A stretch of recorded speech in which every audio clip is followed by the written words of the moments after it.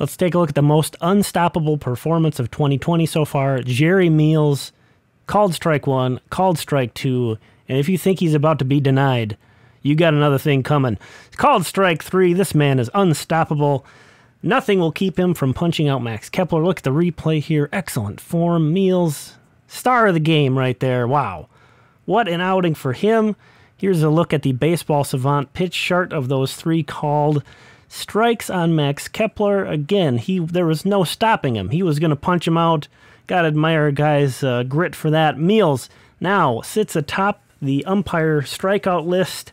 Uh, very impressive. I think uh, he should have been your number one draft pick this year in your fantasy league. As we can see here, speaking of meals, I don't think Jerry had to pay for any in Milwaukee on Tuesday night.